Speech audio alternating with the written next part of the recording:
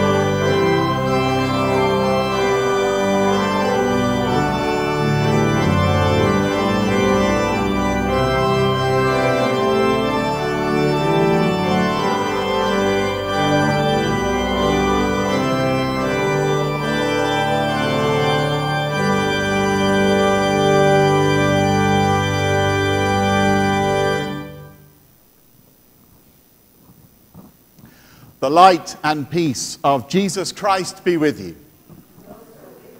The glory of the Lord has risen upon us. Let us rejoice and sing God's praise forever. Alleluia. Christ is risen. He is risen indeed. Hallelujah. Good morning, everyone. It's lovely to welcome you all. A happy Mother's Day to to all those of you who are celebrating Mother's Day today, uh, for those of you whose mothers are far away in one sense or another, uh, our prayers are with you. For all those of you for whom it's a difficult day, we hold you in peace because today is a great day to remember what God has done among us as He has gathered us as uh, a mother hen gathers her chicks under her wings.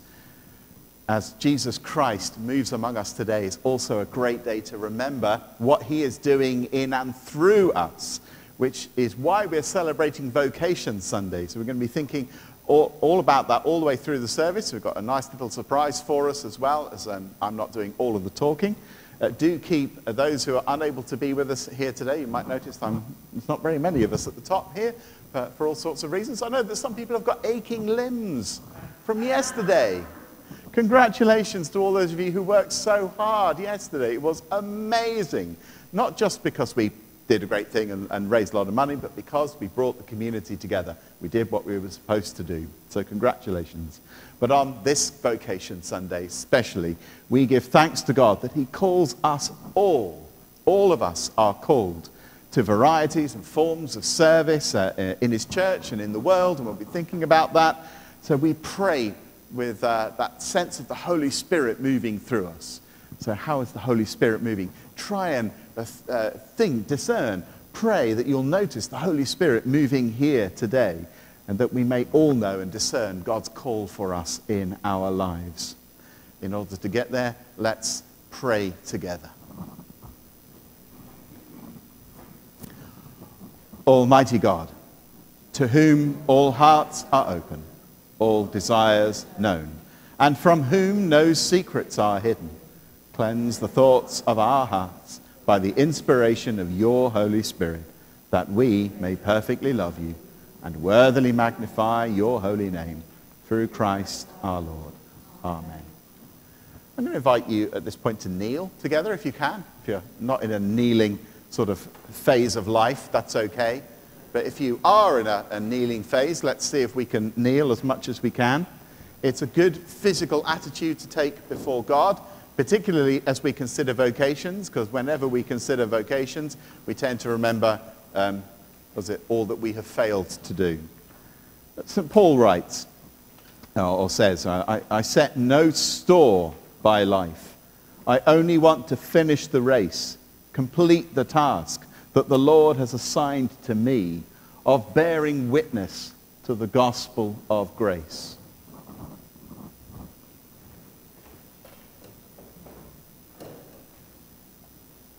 Let's confess our sins and our failure to live up to our calling. Lord Jesus, you said to your disciples, You have not chosen me, I have chosen you. Lord, have mercy. Lord Jesus, we know that the harvest is plentiful, but the laborers are few. Christ, have mercy.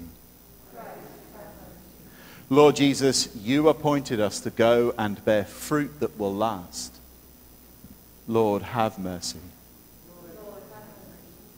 My sisters and brothers, may God, who loved the world so much that he sent his Son to be our Savior, forgive you your sins and make you holy to serve him in the world. Through Jesus Christ our Lord. Amen we sing together in praise of God the words of the Gloria in Excelsis. If you're in a standing up phase of life, you might want to stand up. We're being properly Anglican today, up and down, up and down. Keeps us fit, keeps, stretches the muscles that we didn't use yesterday.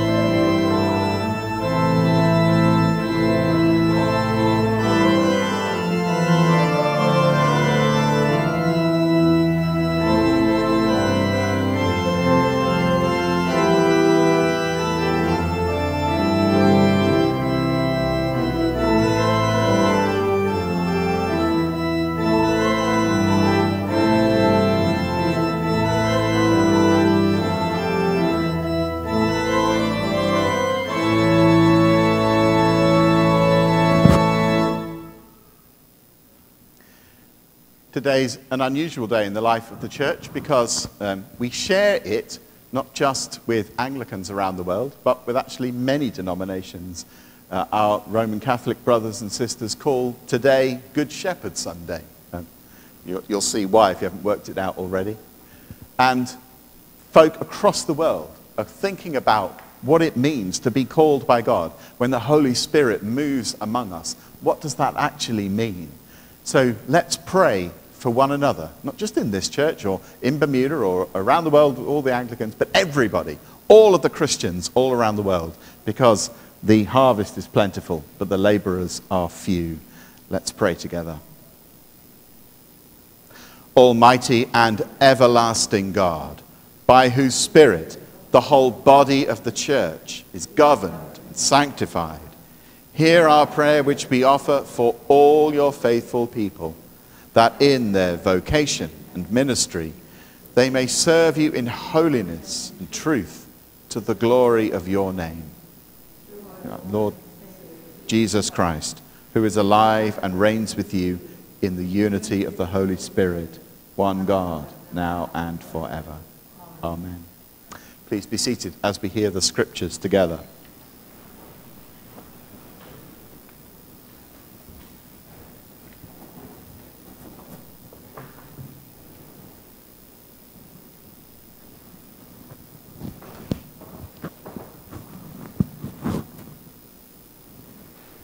Good morning, church.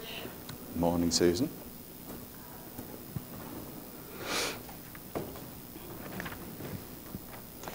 The first reading is chapters, Acts chapter 9, verses 36 to 43.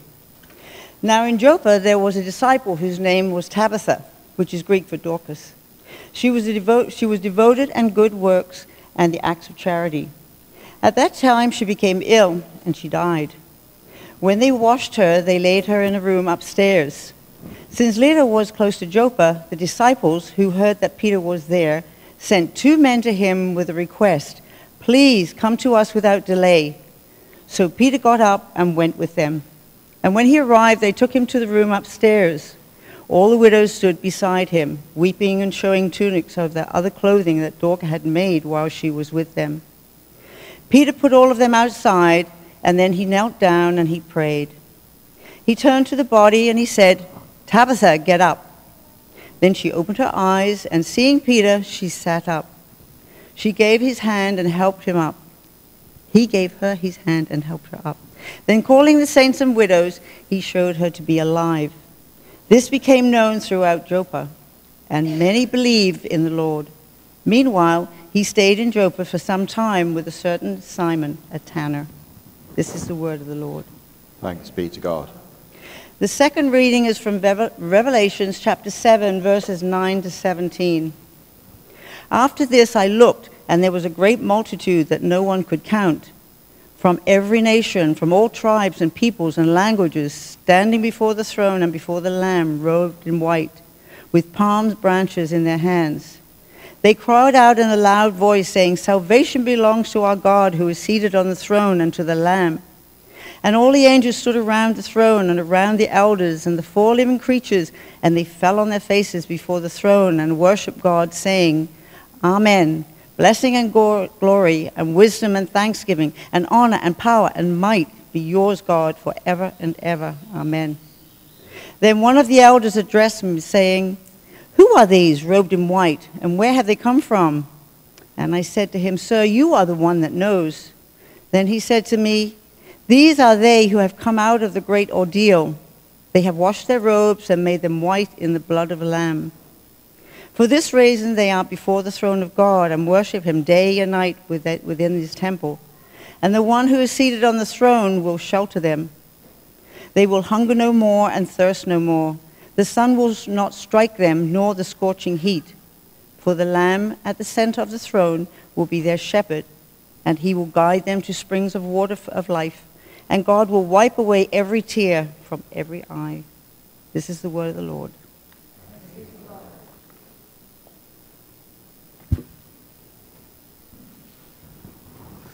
The psalm set for today is Psalm 23. So we're going to sing it together using that old hymn, um, The King of Love, My Shepherd Is.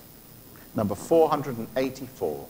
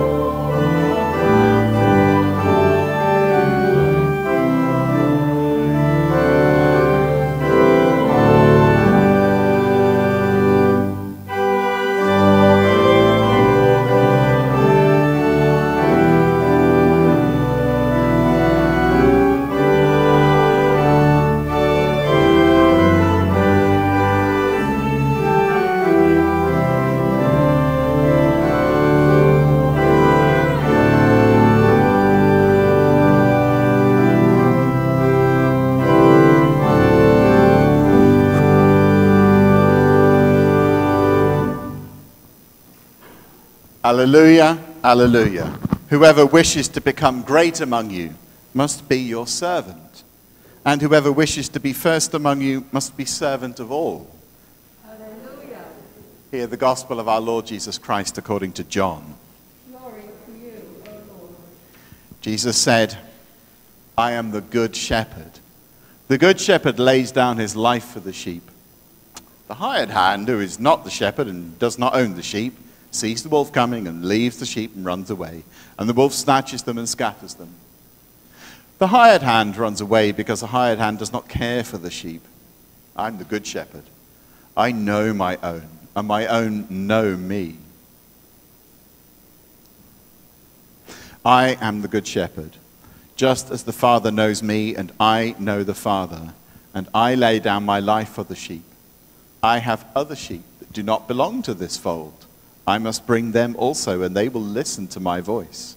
So there will be one flock and one shepherd. For this reason, the Father loves me, because I lay down my life in order to take it up again.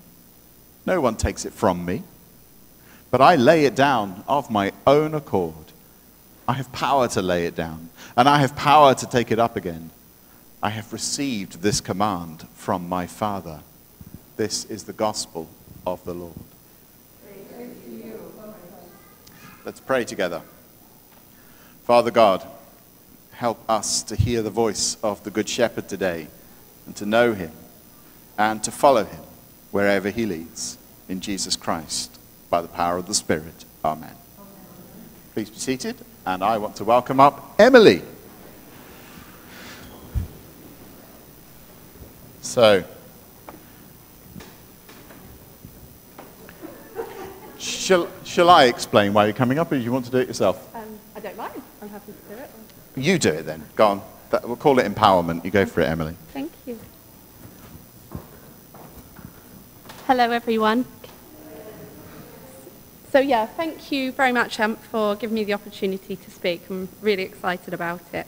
So I think most of you know me. I've been here eight years, but I know there's definitely ones of you where I haven't really shared more than the piece with you before. So just to give you a very short introduction, my name's Emily Flood. I moved to Bermuda in 2014 and then started at St Paul's August or September of the same year. Um, I'm married to a Bermudian who's in the congregation today, so that's what brought me to the island and been here ever since and very settled. I think you all know my two daughters from, yeah, traipsing up every week for communion, making a bit of noise sometimes. So yeah, that's a little bit about me. Um, so Anne asked if I could speak today to give you a little um, background on Spring Harvest, which I went to recently. Um, so I'm just going to talk to you a bit about what Spring Harvest is, some of the themes and messages I got from there, why I went, and a bit about just how I make space for God and some tips I wanted to share, really. So, um, as I said, I went to a Christian conference called Spring Harvest about two weeks ago now. So, this is an annual um, five day Christian conference which happens in the UK. It's been going since the 80s. I, my mum first took me to it when I was a baby. Um, so, they have up to 20,000 attendees. They have at two different locations. Basically, there's this holiday resort in the UK. Those of you who know the UK will have heard of Butlins. So it's held in Butlins. They book out the whole venue um, at these two locations around Easter every year. Um, and it's taken over by this conference. So all denominations across the UK come here and gather together. Um, those of you who've been to something like this, I'm sure you'll agree, like when you have that many Christians together, the atmosphere is just amazing. So um, I was telling a lot of people, um, a lot of my friends and colleagues, that I was going to this before I was going. I've got a lot of friends and colleagues who aren't Christians. They were like, five days? Is it just non-stop church? Like, what, is it a really long service? Like, what do you do there? They were quite like, yeah, it was mind-boggling for them, like, to kind of get their head around, like, is it not just a half an hour service? You pray and then you get on with your day? Like, what do you mean? So um, I spent a lot of time talking them through like a typical day, you know, what the talks are about, you know, how you can really spend that much time, like learning and singing together and stuff. So I'll, you know, do the same here. So every day there was a large morning gathering. Well, there was two of them because, you know, there was too many people to be in one kind of venue. So that in the venue there's lots of like big halls, like conference centres. Um, there, so there'll be two large morning gatherings where everyone will come together, have about half an hour of worship and then a talk.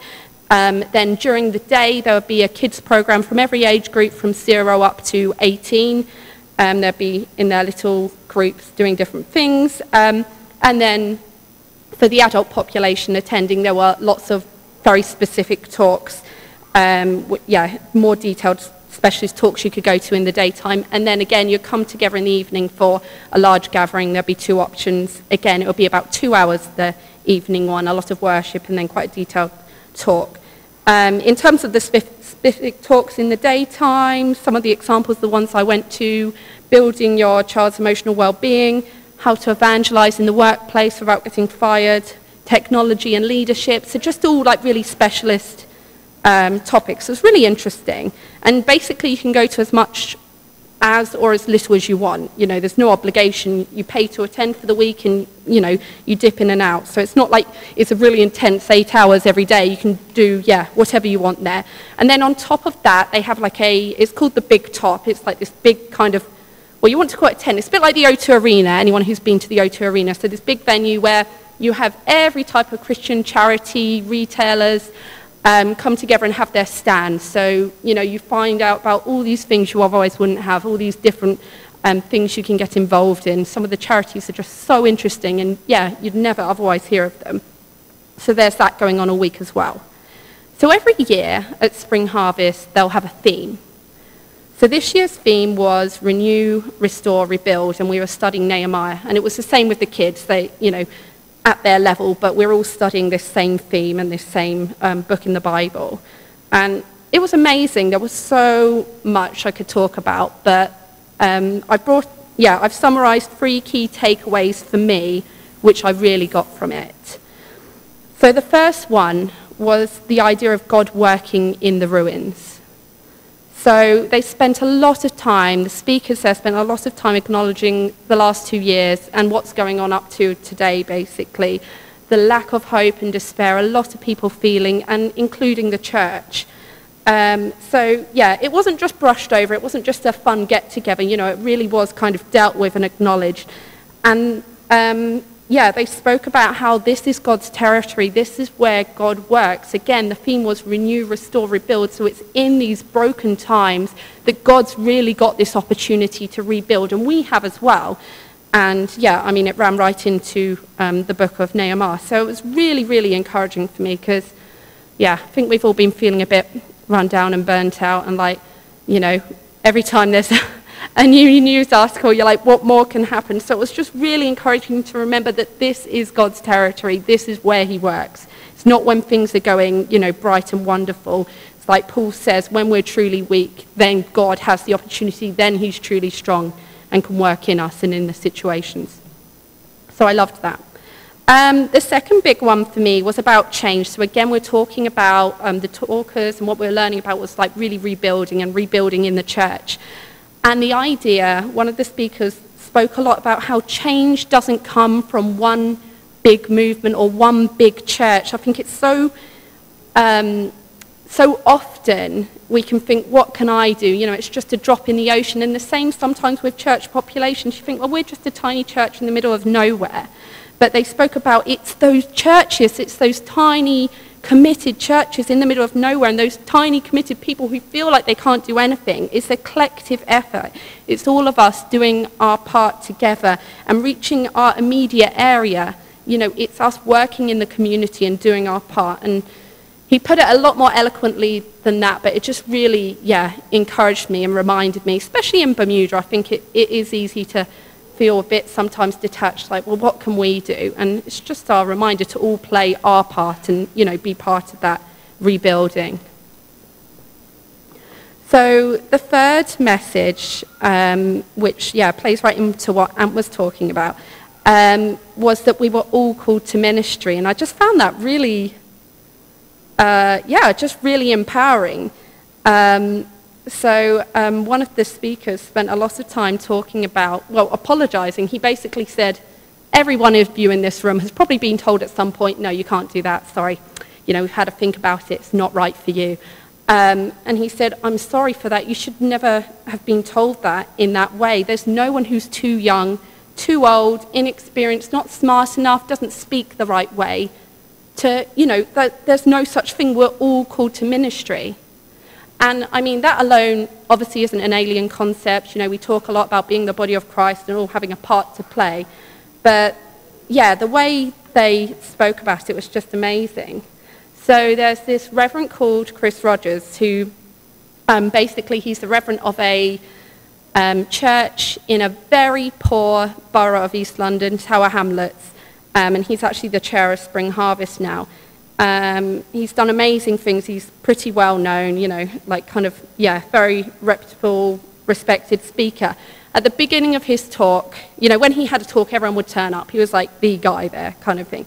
At the beginning of his talk, he went into this rundown of his background. Basically, I'm a very ordinary guy. My dad's an electrician. You know, I'm not from a line of speakers. I became a Christian because at my parents' wedding, the vicar kind of, you know, made me think. So it, he, he had a very, very ordinary, you know, working class background. You know, he was like first generation Christian, and he called himself a fool caught up in God's plan. And I just loved it. Um, so yeah, it just made me think that's what I want to be. Um, you know, there's no such thing as not being ready. And obviously there's times when you're being called to do something, and there's times where you're not. But I think so often we have, you know, the calling, we have the desire in our heart, and we even have the availability and the opportunities there. But we'll tell ourselves, no one else is telling us often either. We'll tell ourselves, oh, no, that's not for me. I can't do that. I'm not ready. Maybe in five years. Oh, no, no. I, you know, I get up there. Like today. Oh, no, I get up there, there and trip over my words. I can't do that. So, yeah, let's all be fools caught up in God's plan. um, in, on this same bit about being called to ministry, um, there was a huge ministry team there. Anytime you needed prayer, you know, you were told where they were in any talks. You could go at any time and kind of, you know, if you needed some someone to talk to, some support or some prayer, there was like, you know, a qualified ministry team, let's say there. But on top of that, often during the talks or at the end of the talks, they'd say, right, We want you now to, you know, pray together, whoever you're next to. And for a lot of us, that was uncomfortable. We weren't with, you know, came in a group of like five where you're talking to your friends about it, you know, as a stranger, and you're like, oh, hi. Um, but, you know, the idea that we're all called to pray, and it, it was really, really empowering. Um, another speaker spoke about, he said, you know, the gift of prayer, sometimes that's just used in such an unhelpful way because it implies not everyone has the gift of prayer where we're all called to pray. We all have a right and a role to play, you know, not just to pray on our own individually, but, you know, pray for one another and offer that support to each other. So again, having that time in the services to do it with each other was, you know, really empowering, especially for those who, you know, hadn't done that. And sometimes it's a bit more comfortable to do it with strangers. You don't feel like such an idiot as you would with your friend.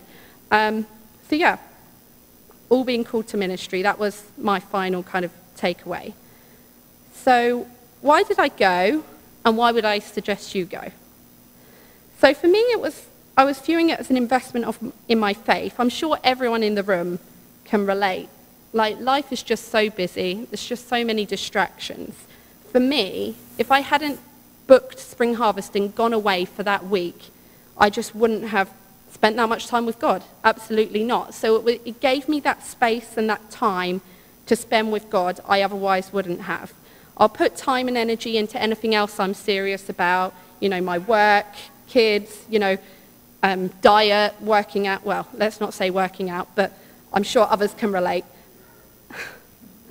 um, so why would I not do the same? How can I expect to grow in my walk with God if that's what I want, if I'm not putting in that same amount of time that I'm putting in if I want to lose two pounds or if I want a promotion at work? It, you know, it works the same way.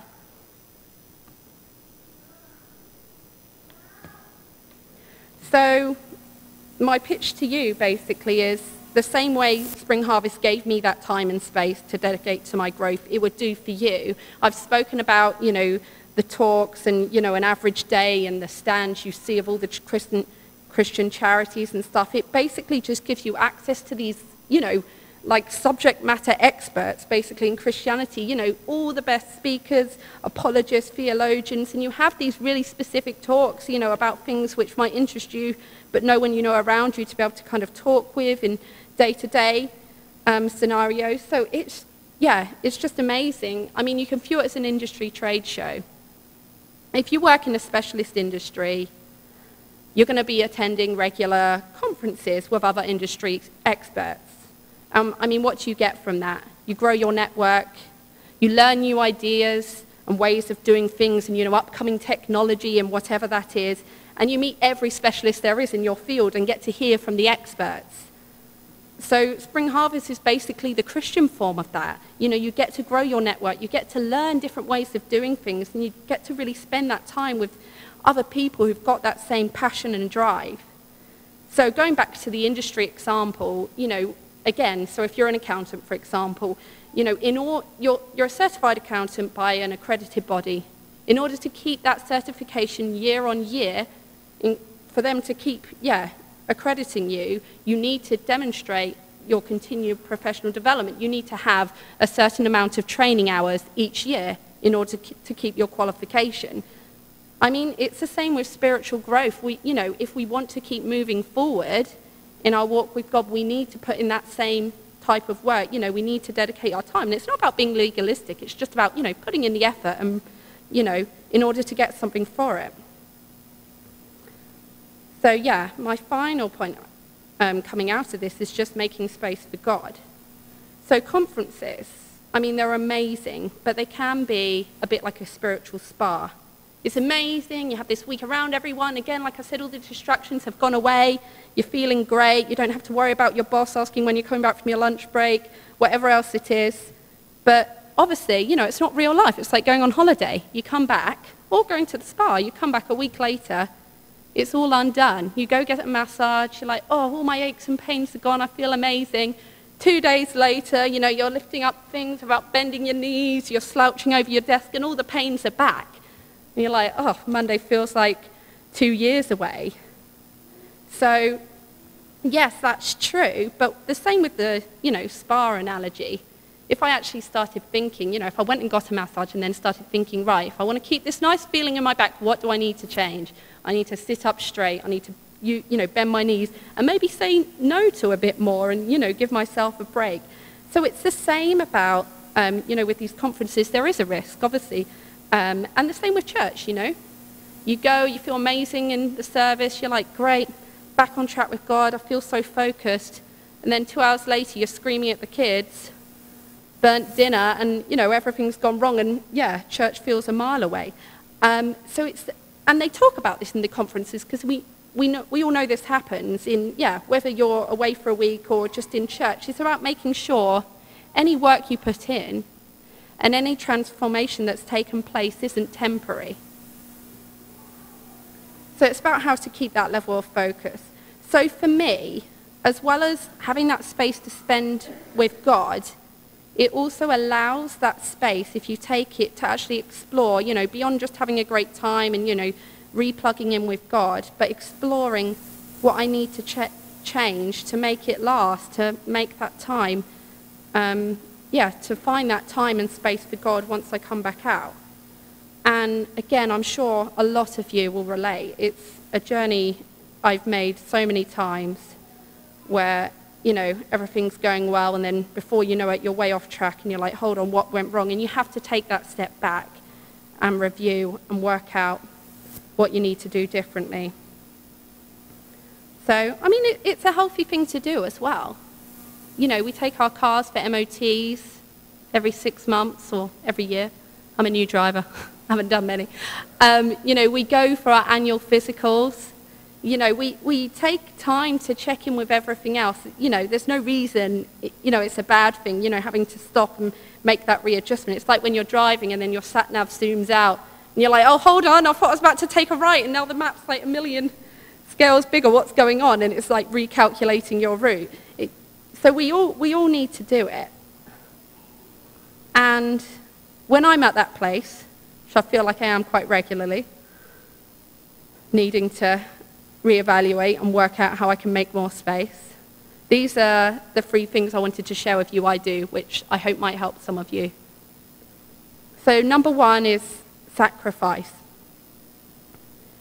Removing things which are in, the, in my way, getting in the way of God. And it doesn't necessarily mean it's a bad thing. It doesn't, it, it's not like you're identifying things you're doing wrong. It's just identifying things which are, for whatever reason, becoming a distraction, something between you and God. And it's so personal. What it is for one person, it'll be something completely different for someone else.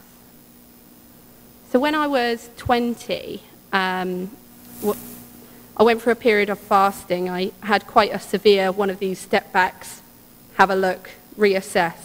Um, and I fasted um, for a period of about 50 days. And I was like, if I'm going to do this, um, you know, I don't want any other distractions because I guess the whole idea of fasting is removing something to make more space for God or, you know, have that clarity to actually hear from God. So I was like, if I'm going to do this, I'm, i want to, yeah, I love food. I was like, I want to get something from it if I'm saying goodbye to food for this long. So I also said goodbye to TV and music, just because I thought maybe they'll get in the way. I didn't feel overly attached to them. But anyway, at the end of it, what I really identified for me, which was such a massive distraction, which I never ever would have known, was music it was, I absolutely love my music, but there's nothing wrong with loving music, right? Why, why would that get in the way? And it was only because I took that step back I really realized the impact it was having on me and my time with God and my behavior in a way. And I think that's quite unusual. I don't think that's, you know, that's just an example to show how personal it can be and how it isn't necessarily something wrong. It's not like you're looking for, you know, something bad you're doing, but it's just whatever it is, which is the distraction or will just give you that extra space. So, yeah, it was such a massive thing for me. And then having to let go of listening to music. And again, like I said, this is very hard line. I'm not saying, you know, this would apply to anyone else, but it's just to paint that picture, give you that example. And then, yeah, spending that time having to actually, it was back when, you know, everything was on like LimeWire and CDs. And, you know, I had my like list of few thousand odd songs, and I remember going through them, deleting them one by one when I finally come to terms with this, and it was like such a big thing for me. It was like heartbreaking. Um, but I never would have known that that was something which had been getting in the way of me and God had I not, you know, taken that time to stand back and assess and, yeah, give myself that space to really look. So um, the second thing for me is just booking the time. Again, like I said, we're all busy. If you book a coffee with your friend at 11, unless an emergency comes along, you're going to be there at 11 to meet your friend. So for me, I have to do exactly that. Book it in my calendar as a set date or it doesn't happen. So yeah, for those who are busy or find, you know, your day just being eaten up, I recommend giving that a try. Booking it as a meeting just like you would with anyone else and, you know, committing to that time. And number three would be accountability. So a lot of you, I'm sure, will have someone in your life, but having a prayer partner, having someone who you can lean on and talk your struggles through with and pray with is amazing. So I first, around this same time that I went through this thing at age 20, right, um, I reached out to a very close friend of mine and we, we started having this relationship. So each week we'd meet, we'd talk about, you know, what we're struggling with, what we want prayer for, and just talk it through. And then, you know, next week she'd come back to me and say how it's going. I'll be like, oh, not very well, or yeah, made progress. But just having that person to check in with and, you know, pray with and have that support was amazing.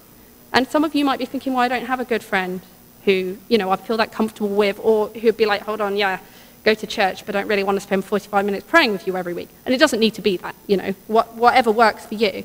But um, the second person, when I came out to Bermuda, I did the same thing. But I reached out to someone I didn't even know. I knew she was a Christian. She wrote um, Christian blogs every few weeks. And my husband had gone to school with her. That was all I knew about her. And I was like, you know, I'm drowning out here. I don't really know anyone. What have I got to lose? So I sent her a message and said, hey, how would you feel about meeting up? You know, I, I used to have someone I prayed with, and I really, you know, benefit from that. And she didn't reply, and I'm like, oh no, I've looked like a complete idiot. She's like, who's this crazy gal? Don't even know her. And then she did get back to me, and we met up, and it was amazing. And the benefits we had from not knowing each other was almost greater because we could speak so openly. When it's a friend, sometimes you're a bit uncomfortable about sharing things. You know, if they've known you for years, you know, you've got that familiarity, but sometimes it's over familiarity and you feel like there might be a bit of judgment. And often that's an insecurity on your part. But when it's someone you don't know, you can just be a whole lot more candid. So it was amazing, and it was an amazing journey, and we turned out to become really good friends through it. But my point is, if, if you don't have someone and you're thinking, well, I don't know anyone who I could even ask, I'd say don't let that put you off. It doesn't need to be someone you know at all and there's benefits to both sides. So yeah, they're the three ways I have made space for God, and I hope that's helpful. So that was all I had to share with you today. Hope you found it interesting, and thank you very much for listening to me.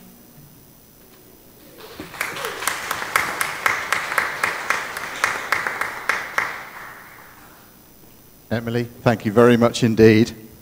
Um, I wholeheartedly endorse this message. Thank you. There are so many Christian festivals around the world, and they are great opportunities, as Emily has shown. Emily is a great witness to a living Christian faith. Uh, at no point in our Christian faith should we ever think, oh, I've arrived now, I'm doing it right. It's always more that we can get into God. So I, I think everything that Emily said, just pick up something, remember it, take it with you today, and uh, respond to it, because that's how our faith turns from uh, a faith that's quite passive and, and sort of just, we just sort of believe something, uh, into something that makes a transformative difference in our life and the lives of those around us. It changes the community, as Emily says. It, it's, it's small little changes can have massive impacts. Um, and I just know that James would have been listening very, uh, very intently to uh, what was it you did? Technology and leadership, was that? Yeah. I was quite interested in that, James. Were you? Yeah, okay, that trip's happening. Um, so and that's the other thing that E- E- Emily said, you know, it's much more fun when, when we do it together. It's not just prayer partners. Sometimes you see a, a Christian festival and comes up on YouTube or Facebook or something, you think, oh, I'd quite like to go to that. Um, don't want to go alone. Well, talk to the rest of us. There might be a little team of three or four. I remember a time when some folk went with Maureen down to Haiti, didn't they, James? Ten years ago. So uh, all sorts of things can happen when we decide to do things together. So just an encouragement this morning to do that. Today, right now, we're going to stand and we're going to say together the words of the Nicene Creed. So please stand up uh, if you're in that stage of life. The thing about the Nicene Creed is um, we say it, we're not always sure we understand what it means. Uh, that's okay. I want you to know that for a start. It's okay. But Christians have been saying it for 1700 years, so we're not going to stop. But today we're going to say it in a different way. We're going to say it uh, in a much more sort of African way. So I'm going to say a bit, and then you're going to repeat back to me. Or you're going to say a bit back to me, all right? So um, let's see how that works. You ready? We believe in one God, the Father Almighty. We believe in one Lord, Jesus Christ, the only Son of God, eternally begotten of the Father.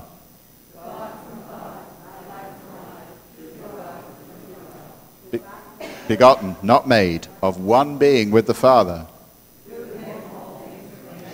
For us and for our salvation, he came down from heaven, was incarnate from the Holy Spirit and the Virgin Mary, and was made man.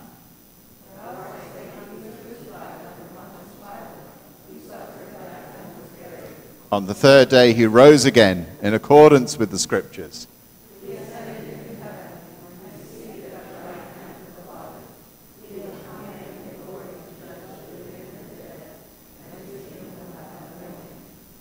We believe in the Holy Spirit,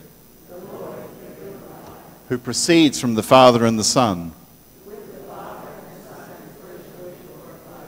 who has spoken through the prophets. We acknowledge one baptism for the forgiveness of sins.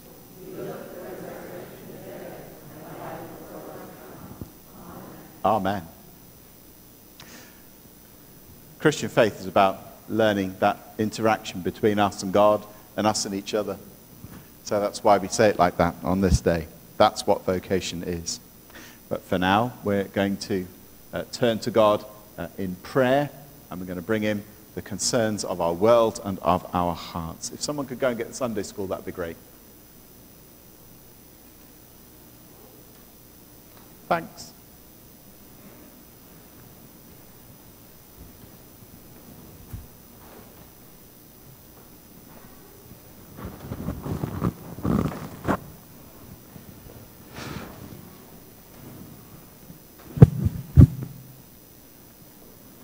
Would you please sit or kneel?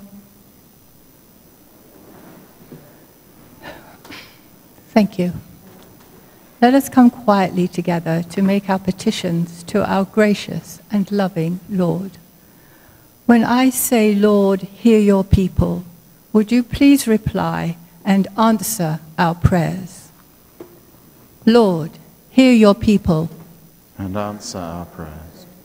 Lord God, we pray for our Queen, our Governor, our Premier, and the Leader of the Opposition, and for all of the leaders of the world who work for peace and unity. We continue to pray for the peacemakers, talented men and women who work throughout the world, finding ways for enemies to talk to each other, to seek common good, to compromise, and eventually to reconcile their differences. Grant them patience and understanding and the knowledge that their work may bring peace. Today, we hold up the peacemakers in the Ukraine and in other conflicts happening elsewhere in the world, in Africa, Israel, and Palestine. Lord, hear your people. And answer our prayers. Mighty Lord, this morning we pray for all our church leaders, Archbishop Justin, Bishop Nick, Archdeacon Andrew, Canon Ant, and all the clergy and lay ministers. Please uphold their ministries and their vision for the church in Bermuda. We are so thankful, Lord, on this Vocation Sunday for those who have answered your call to give of themselves in the service of others. The wardens, the vestry, the church girls brigade, the boys brigade, the Sunday school, the youth group, the guild, the flower fairies, the choir, Alana, James. Keep them all safe and well as they minister to us. And we give you thanks and praise this morning for the wonderful Not the Valentine Fair, which was held yesterday for all the hard work and determination of all those involved. Lord, hear your people.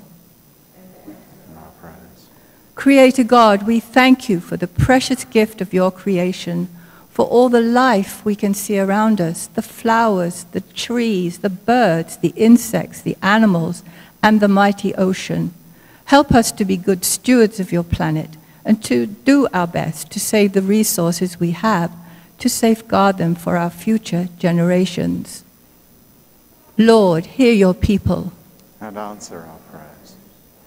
Father God, please bless all mothers, stepmothers, foster mothers, single mothers, godmothers, and all who have been like mothers to us as we celebrate this special day in their honor.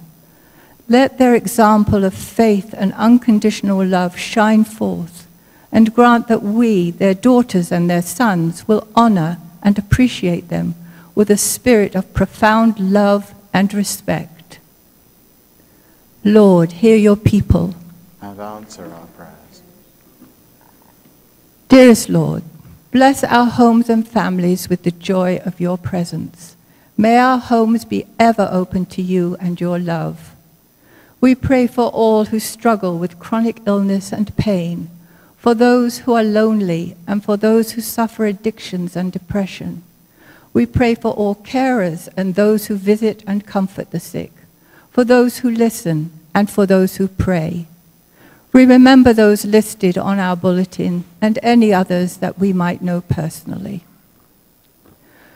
Bring comfort to all in need, especially today we think of the refugees in the Ukraine crisis and anyone else who is fleeing from the devastation of war. We pray for those families who have been separated from each other, running from their homes or from the death of a loved one during these dreadful times. This morning we lift up to you those families who have suffered the devastating loss of everything they had due to the gas explosion in Southampton. Lord, hear your people. And answer our prayers. Merciful Lord, we remember those before you who have died, and we pray for all whose lives have been saddened by the death of a loved one. Once again, the island is greatly distressed by another senseless killing of one of our young men. Help us, dear Lord, to find a way to resolve this unnecessary violence. We remember this morning Walter Cook, Dolores Franks, Oscar Maracanianas, and Keisha Robinson. Please comfort the grieving families and gently walk with them in their distress. Lord, hear your people. And answer our prayers. Everlasting God, finally we pray for ourselves. We pray for our own weaknesses and failings, the times when we have failed you, for the times we have justified a reason for looking the other way, for the times when we have kept our hands tightly on our money, avoiding the needy hand, for the unkind words we have thought and the deaf ear we have turned. Lord, forgive us and make us whole again. As we have been revived by the joy of your resurrection, let us go from this place today and show that we are a loving family of God serving our community. Merciful Father, accept these prayers for the sake of your Son, our Savior, Jesus Christ. Amen.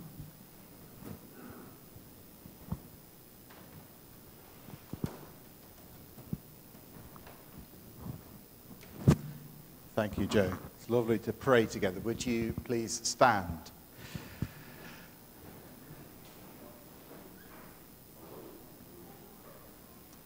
We are all one in Christ Jesus. We belong to him through faith. heirs of the promise of the Spirit of peace. The peace of the Lord be always with you. Let's offer to one another a sign of peace. Peace be with you. Peace be with you. Peace be with you all.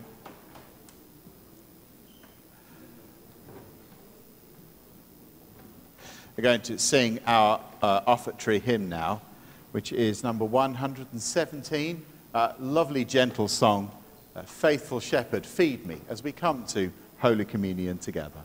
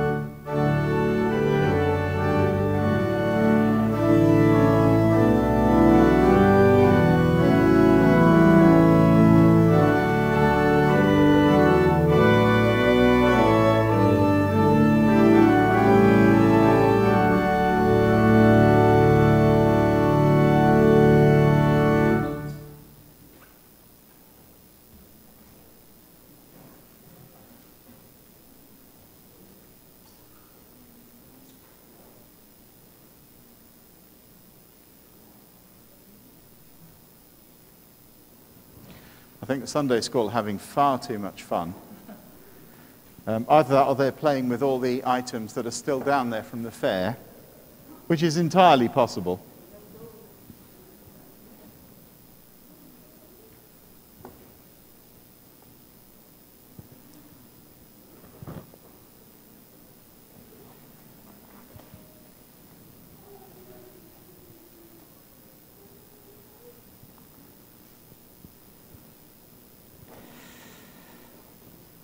Right.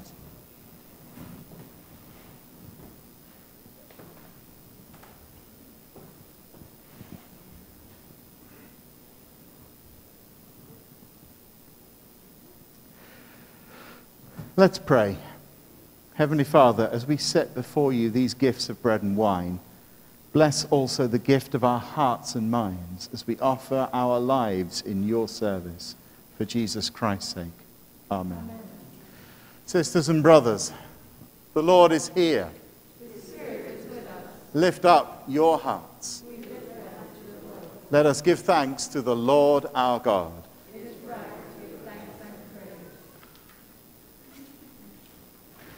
It is indeed right. It's our duty and our joy at all times and in all places to give thanks and praise, Heavenly Father, source of all that is. For you have called our world into existence and filled it with abundant life.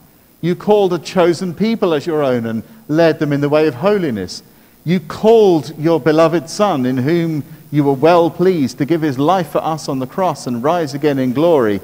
And now we give you thanks that you call men and women to equip your holy people for the work of ministry, for the building up of the body of Christ. Therefore, with angels and archangels and with all the company of heaven, we proclaim your great and glorious name, evermore praising you and singing.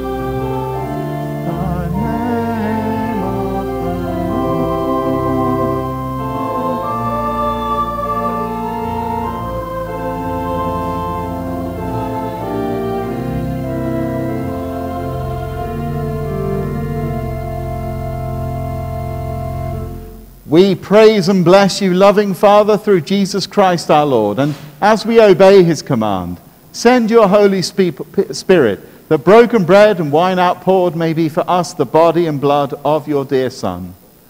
On the night before he died, he had supper with his friends, and taking bread, he praised you. He broke the bread and he gave it to them and said, Take, eat. This is my body, which is given for you.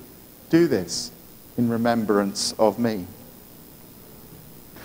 When supper was ended, he took the cup of wine. Again, he praised you, gave it to them, and said, Drink this, all of you. This is my blood of the new covenant, which is shed for you and for many, for the forgiveness of sins. Do this as often as you drink it, in remembrance of me. So, Father, we remember all that Jesus did. In him we plead with confidence his sacrifice made once for all upon the cross, bringing before you the bread of life and the cup of salvation we proclaim his death and resurrection until he comes in glory. Great is the mystery of faith. Christ has died. Christ is risen. Christ will come again. Father of all life, help us to work together for that day when your kingdom comes and justice and mercy will be seen in all the earth. Look with favor on your people. Gather us in your loving arms and bring us with all the saints to feast at your table in heaven through Christ and with Christ and in Christ. In the unity of the Holy Spirit, all honor and glory are yours, O loving Father, forever and ever. Amen. Amen. Let's kneel together and pray as the saints have prayed since Jesus taught us this prayer, saying, Our Father in heaven, hallowed be your name, your kingdom come. Your will be done on earth as in heaven. Give us today our daily bread. Forgive us our sins as we forgive those who sin against us. Lead us not into temptation, but deliver us from evil. For thy kingdom, power, and the glory are yours, now and forever. Amen. We break this bread to share in the body of Christ.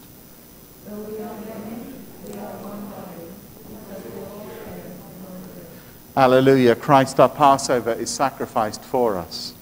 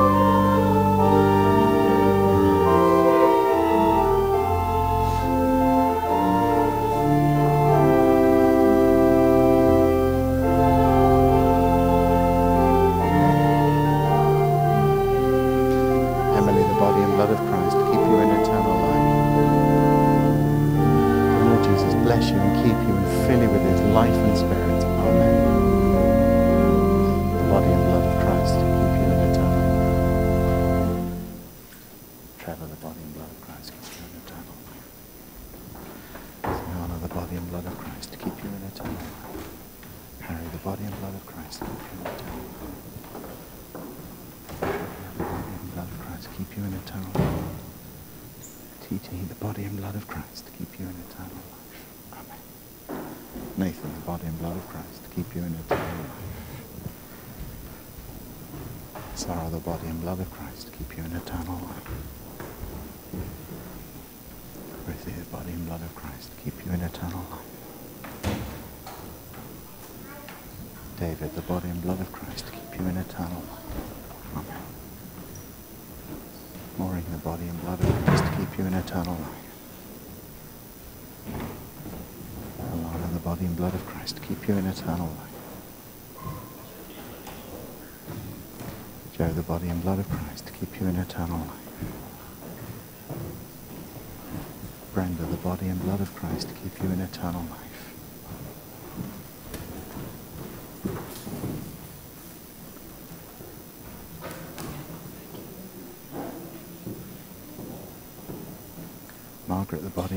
blood of Christ, to keep you in eternal life.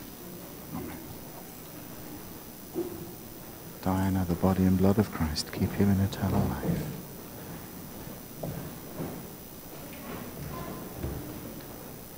The body and blood of Christ keep you in eternal life.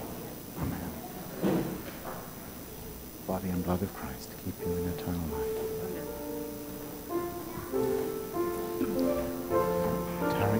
and blood of Christ keep you in eternal life. Elaine, the body and blood of Christ keep you in eternal life. Galen, the body and blood of Christ keep you in eternal life.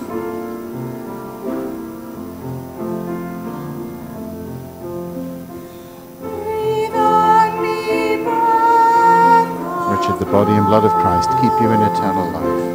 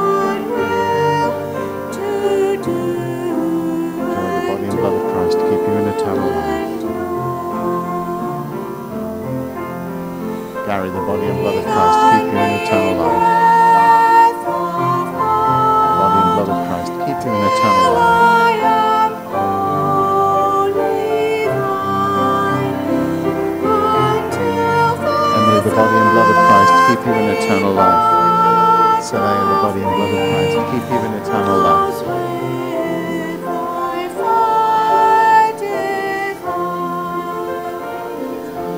The body and blood of Christ keep you in eternal life. Shailene, the body and blood of Christ keep you in eternal life. The body and blood of Christ keep you in eternal life, Kay.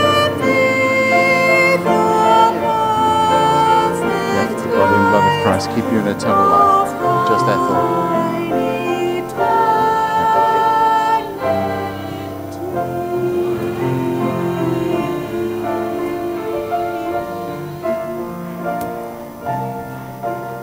Ethel, the body and blood of Christ keep you in eternal life.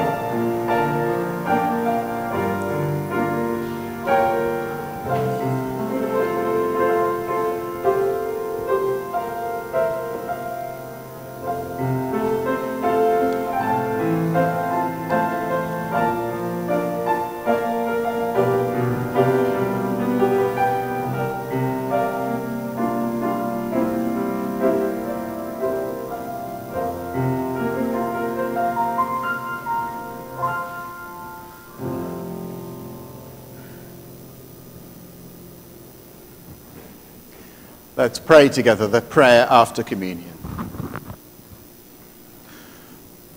Lord of the harvest, you have fed us, your people, in this sacrament with the fruits of creation made holy by your Spirit. By your grace, raise up among us faithful laborers to sow your word and reap the harvest of souls through Jesus Christ our Lord.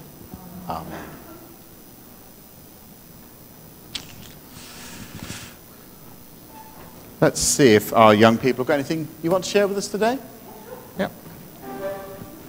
Great. Now, Emily went first last week, so who's going to go first this week? Sienna, you going to go? Excellent, excellent. Well done, Sienna. There you go. Yeah. Yeah. Okay, that's a wicked laugh, but I'm guessing it's in good fun. So, Siana, take it away. So, in our group, we were studying literary styles of the Bible.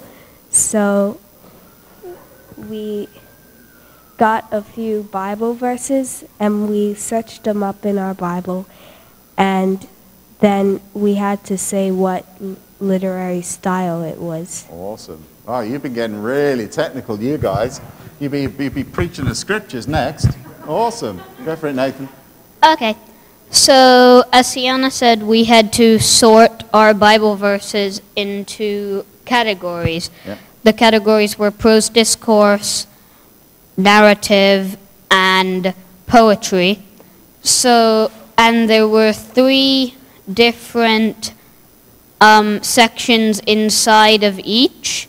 So, for narrative, it was um, narrative parable. What was? How deep were you going, Miss Ruth? biography. It was narrative, parable, biography, and historical. Yes, Well thank you, Harry. Harry. And then in It is getting very close to a lecture. That's very good. and in poetry, we had songs. What was it? it songs, wisdom, and prophecy.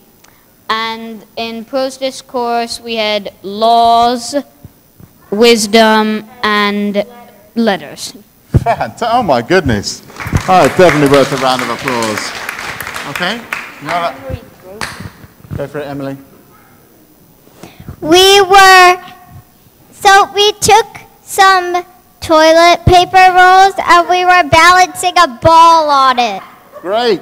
Fantastic. Thank you. Thank you. Do you want to say, do to say anything, Jason? Do you want to say anything? You say- Okay, Harry, you want to add to that? Okay. They've been absolutely brilliant. We've had everything today. That's proper Sunday school. Well done, guys. Congratulations.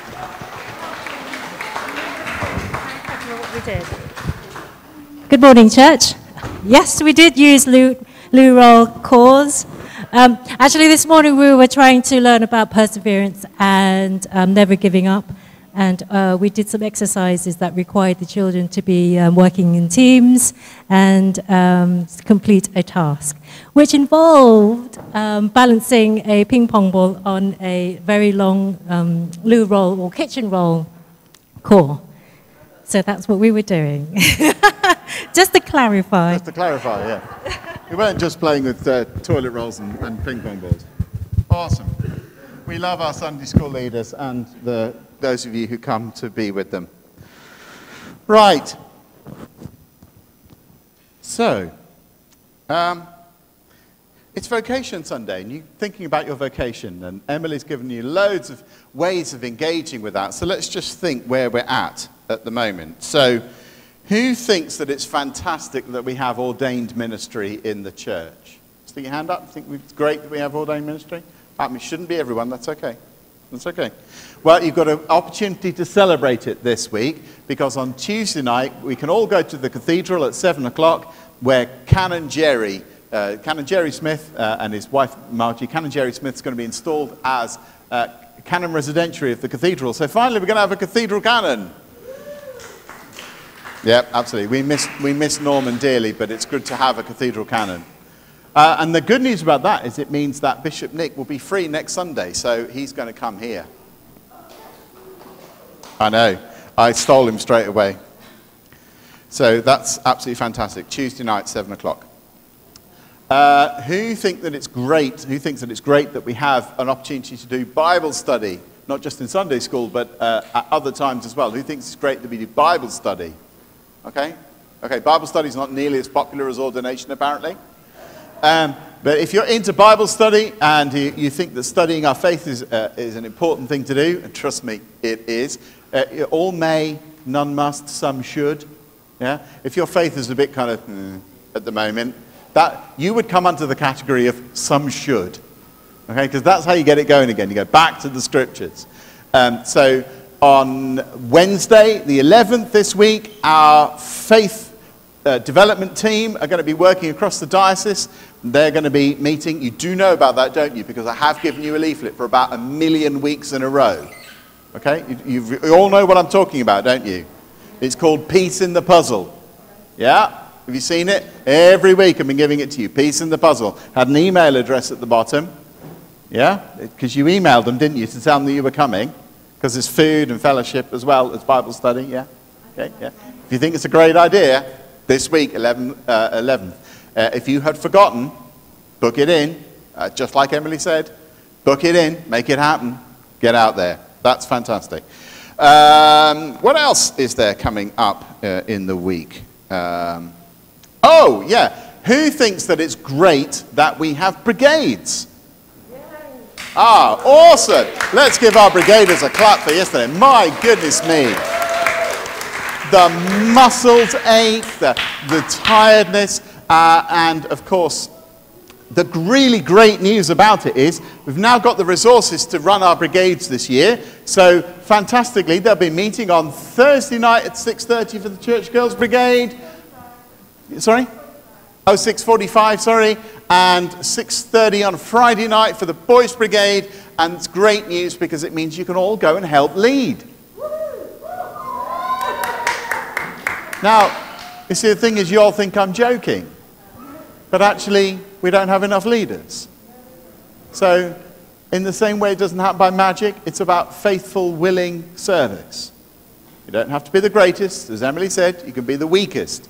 You can be rubbish at something, and it's still better that you're there. Right? It's still better that you're there being rubbish than not being at home thinking, oh, I don't know what to do. Okay? Just turn up. Go and, go and help. Be one of those people. Be a person who turns up even if you can't do it, not the person who doesn't turn up in case you can't do it. Be, be, be that person, okay? Right, um, but also at the end of this service, the, there is, I don't know if there's coffee or not, but the hall's out, there is. Right, there's coffee. Great. Go down to the hall, downstairs and the hall. You'll find the place full because there aren't enough leaders. So there weren't enough people yesterday to clear it up. So the hall is full. Please take boxes of white elephant and uh, bags of white elephants and, um, and books, thank you very much, uh, to your favorite charity except PALS because they've already taken what they want. But please spread the good news around, okay? Take a bag of stuff, take two, take a carload. Um, or, even better, stay and help clear it up put it all away. Even better than that, buy all of Sheila's plants, uh, and that will save her having to take them home and grow them again. So, really great news. Awesome. I think TT is trying to tell me something. TT, you're trying to tell me something? Do you want to come and tell me? Come here. Come and tell me what it is. No, she doesn't want to tell me now. She's changed her mind. Okay. That happens. That happens. Sometimes the Spirit moves and we forget what he said. Right. Birthdays this week include. Oh, Mary Domingo. Yes, I'm, so- sorry, sorry, suddenly remember. That's tomorrow. Yes. Um, Girls Brigade member Ndira, who I think I saw yesterday. Yeah. Uh, my mum Wendy. Uh, Wendy, mum, happy birthday. But I'll, I'll send you a card. Um, Gina Brown, remember Gina when she was on placement with us? It's her birthday. And of course, dear Annette, it's your birthday, isn't it? And you were born on Mother's Day. Absolutely fantastic. Really fabulous.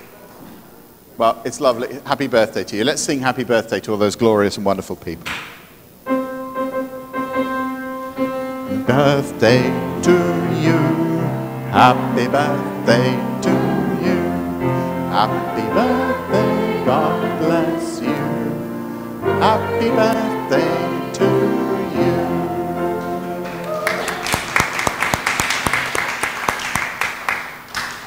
Okay, so I don't want to hear anybody saying the church doesn't do anything. The church does lots. It's whether we're willing to get involved. So if you have been challenged today or the Lord has spoken in you, felt the Spirit moving this morning, I invite you to come and share that with me and we will think about, uh, you may know very clearly what your vocation is or you may not. Um, but come and talk, come and share it with me. Come and tell me what the Spirit has been doing in you today. Uh, and we'll see where we can go with that. But for now, I'm going to invite you to stand up. We're going to make an act of commitment together because whether you are one year old, 10 year old, or 100 years old, or anywhere in between, the Lord is calling you. My father in law always says this you know when the Lord has no more use for you because you have stopped breathing.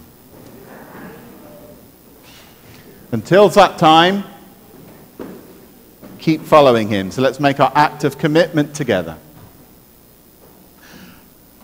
Christ, you call us. Christ, you call us to be your people in the world. We will follow your call to be, our, to be your people. Our hands will do your work. Our feet will walk your way. Christ, you call us. Christ, you call each one of us to be your children for the world. May our hearts search for your truth. May our souls listen to your voice. May our lives follow in your path. Christ, you call each one of us. Christ, you call us to be your people in the world. So may the boldness of the Spirit and the gentle, gentleness of the Spirit lead you and transform you. May the gifts of the Spirit equip you, because we all need them. And may the Spirit equip you to serve the Lord in the world, to worship Him at all times. And may you know the blessing of God Almighty, the Father, the Son, and the Holy Spirit surrounding you and sustaining you now and forever. Amen. Uh, our final hymn today is number it's right at the end. Number 571, and you literally can do this today if you want to go and help uh, down in the hall. Go, you go out with joy. You shall go out with joy.